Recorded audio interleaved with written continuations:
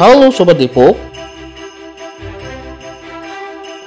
Wakil Wali Kota Depok Imam Budi Hartono bersama Forum Koordinasi Pimpinan Daerah atau Forkopimda melakukan monitoring malam Natal tahun 2023. Monitoring dilakukan di dua titik lokasi, yaitu pos pengamanan Simpang Juanda dan Gereja Katolik Santo Herculanus di Jalan Irian Jaya, nomor 1 Kelurahan Depok Jaya, Minggu 24 Desember 2023.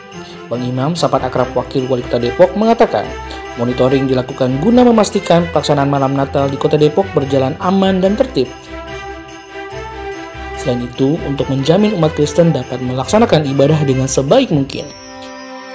Terakhir Bang Imam berharap, perayaan Natal dapat menggambarkan kemajemukan di Kota Depok sebab dapat berlangsung dengan aman dan saling menjaga antar umat beragama.